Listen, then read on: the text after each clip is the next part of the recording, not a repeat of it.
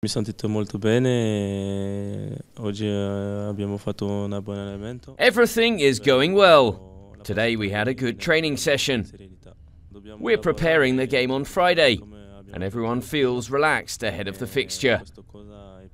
We've been doing well recently, and the next game is just as important as the others we have left as we challenge for third place.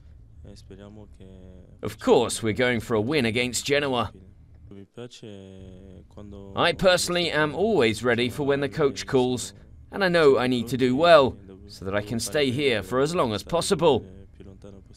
The Stadio Marassi was the first stadium where I played for Milan, so it will be special to go back there.